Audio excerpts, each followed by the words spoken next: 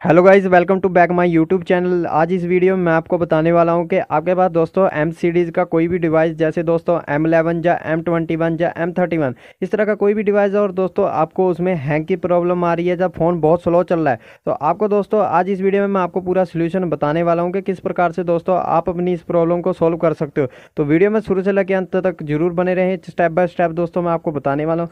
तो सबसे पहले दोस्तों, आपने अपने मोबाइल की सेटिंग में चले जाना। आपके पास दोस्तों सैमसंग का ए का भी कोई भी डिवाइस हो इसी तरह का दोस्तों सेम स्टेप बाय स्टेप आपको करना है। तो सबसे पहले दोस्तों, आपको जो एक ऑप्शन ढूंढ लेनी है अपने फ़ोन में, आपको एक ऑप्शन मिलती है सॉफ्टवेयर अपडेट। इस पर दोस्तों क्लिक कर कर आपने पता कर लेना है कि आपने अगर कोई सॉफ्टवेयर आया रहता है तो आपने दोस्तों उसको अपडेट कर देना चाहिए। कई बार दोस्तों आप अपडेट नहीं कर पाते हैं, वो सॉफ्टवेयर ज़्यादा एमबी का होता है तो आप उसको अपडेट नहीं करते। इससे दोस्तों आपके फ़ोन में हैंग की प्रॉब्लम और दोस्तों हीटिंग की प्रॉब्लम हंड्रेड आती है। तो आपने दोस्तों अगर इस तरह का कोई अपडेट आया है तो फ़ोन को अपडेट कर लेना है। इससे दोस्तों आपकी ये प्रॉब्लम सोल्व हो सकती है। उसके बाद दोस्तों, आपने क्या करना है कि आपने अपने जो डिवाइस केयर है, उसमें जाकर देख लेना है कि आपकी जो मेमोरी होती है इंटरनल मेमोरी दोस्तों, उसको चेक करना है कि आपकी वो इंटरनल मेमोरी भरी तो नहीं हुई है। अगर दोस्तों, ये आपकी जितनी भी एम होती है, जैसे चौंसठ जी होती है, वो फुल हो जाती है तो इससे भी दोस्तों, ये प्रॉब्लम आने लगती है। अगर रैम जो आप एप्लीकेशन ज़्यादा डाउनलोड करते रहते हैं तो उससे भी दोस्तों, आपकी ये प्रॉब्लम आती है तो आपने दोस्तों सिंपल स्टोरेज में जाकर, जैसे दोस्तों मेमोरी की स्टोरेज है,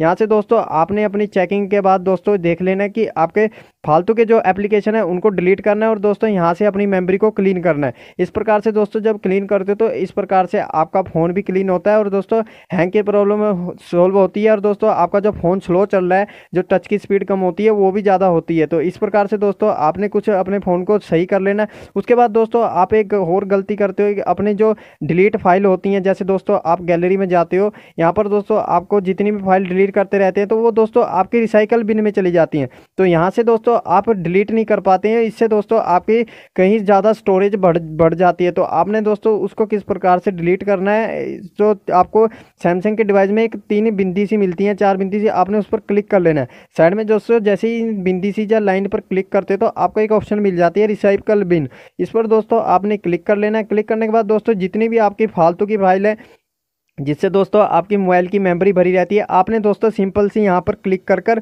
उनको डिलीट कर लेना है। इस प्रकार से दोस्तों आप उनको डिलीट कर दोगे तो आपके दोस्तों हैंग की प्रॉब्लम यहीं से ही सॉल्व होने लगती है कि आप अपने फ़ोन को अपने आप ही हैंग करते हैं क्योंकि दोस्तों आप इनमें से जो फालतू की फ़ाइल होती हैं या दोस्तों एप्लीकेशन होती हैं या दोस्तों आपके फ़ोन में ऐसे ही अपने आप सॉफ्टवेयर डाउनलोड होते रहते हैं तो उनको दोस्तों डिलीट नहीं करते हैं और अपने फ़ोन को क्लीन नहीं करते तो इस प्रकार से दोस्तों आप अपने फ़ोन की जो हैंग की प्रॉब्लम आ रही है या दोस्तों टच की स्पीड बहुत कम चल रही तो इस प्रकार से सॉल्व कर सकते हो। इसके बाद भी दोस्तों, आपका फ़ोन बहुत स्लो चल रहा है तो आपको एक सेटिंग कर लेनी है अपने अबाउट फ़ोन में जाकर दोस्तों।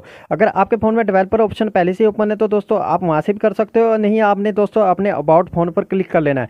जैसे दोस्तों, आप इस पर क्लिक करते हो तो यहाँ पर दोस्तों, आपको एक ऑप्शन मिलती है सॉफ्टवेयर इन्फॉर्मेशन दोस्तों, इस पर आपने क्लिक कर लेना है। यहाँ पर दोस्तों, आपके फ़ोन का जो बोल्ड नंबर होता है, उस पर दोस्तों, आपने पाँच से सात बार दोस्तों प्रेस करना है। यहाँ से दोस्तों, आपकी डेवलपर ऑप्शन की दोस्तों डेवलपर ऑप्शन जो ओपन हो जाएगा। उसके बाद दोस्तों, आपने अपने डेवलपर ऑप्शन को क्लिक कर लेना है। यहाँ से दोस्तों, जैसे ही क्लिक करते तो आपने दोस्तों, इस पर नीचे की ओर स्क्रॉल करते जाना है। जैसे दोस्तों, आप इसको स्क्रॉल करते जाते हो तो यहाँ पर दोस्तों, आपने दो से तीन सेटिंग करनी है, जो मैं आपको बताने वाला हूँ। तो नीचे की ओर स्क्रॉल करते जाना है। यहाँ पर दोस्तों, आपको एक ऑप्शन मिलती है विंडो एनिमेशन स्केल ये दोस्तों, आपकी ऑफ़ होती है तो यहाँ पर दोस्तों, आपने इसको वन एक्स पर कर देना है।